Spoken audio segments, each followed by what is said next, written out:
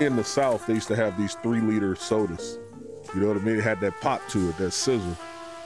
So we're doing the checkout. We go through the drink, and I'm, I'm grabbing the bag, and the lady like didn't initially give me the bag. She kind of held it a little longer, so I can like look up and give eye contact. And when I looked up and gave eye contact, I'll never forget this moment. And she was like, "Ma'am, say it, ma'am." And my grandmother looked at me, and it was just a deflating moment. My grandmother always spoke her mind, wasn't hesitant to say anything. She was the matriarch and the patriarch of our family. But in this moment, I saw my grandmother extremely vulnerable. I saw her weak. In that moment, I was spoken through, I was spoken at, and I was spoken down to. We were silent in the car for a moment as we drove off from there, and my uncle had shared some words that just stayed with me for a long time. Racist motherfuckers.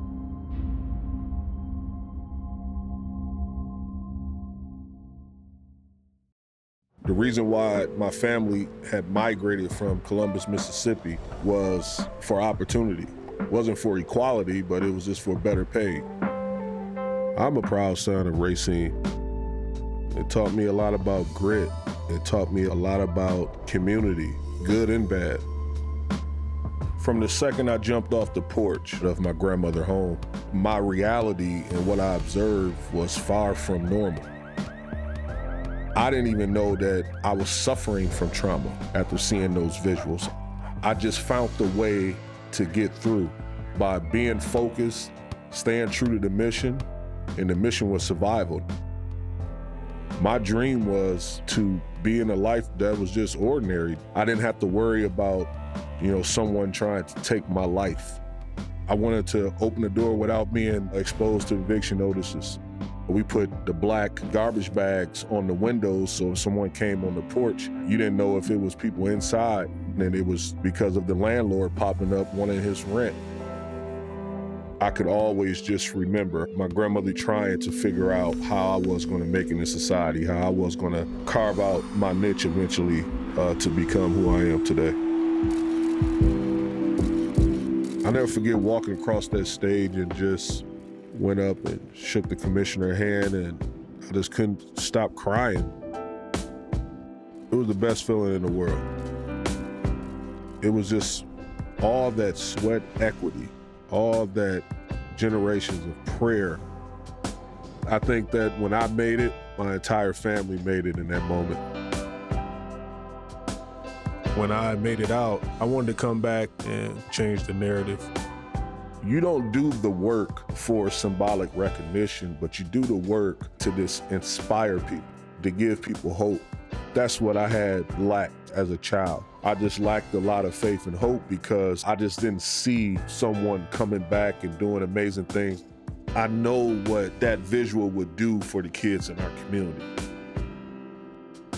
Getting a street named after me in Racine was just unbelievable.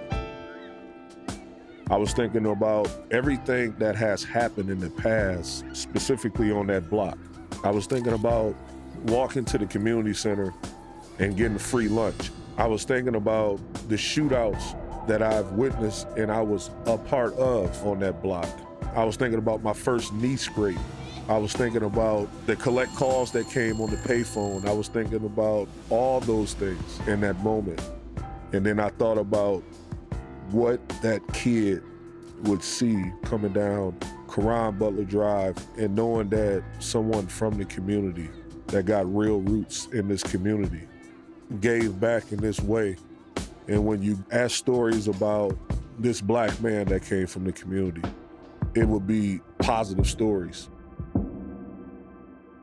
I addressed the crowd, but I still felt like the post wasn't right someone that came up to me and they told me that a kid that I was familiar with, familiar with his family, was lying dead up the street at the end of Caron Butler Drive. He was shot by law enforcement. I was just, I was speechless. And one of my biggest moments where I was extremely hopeful one of the most devastating things that could possibly happen. And it happened on my street. And I felt like I had to get in front of it and talk. That was our moment for our community. I was just like, this shit isn't right. And this has to change going forward. Racism would not be corrected in the calendar year. Racism may not be corrected in our lifetime, but we have to understand that the history of it is over 400 years strong. But if we are engaged as collectives and we decide that this is a we thing, it will get corrected. And that's why I'm hopeful because I know that people are starting to get engaged and they're making sure that, you know what, this part of history will be part of the fabric of my quilt. I will have my fingerprints all over this social change in America.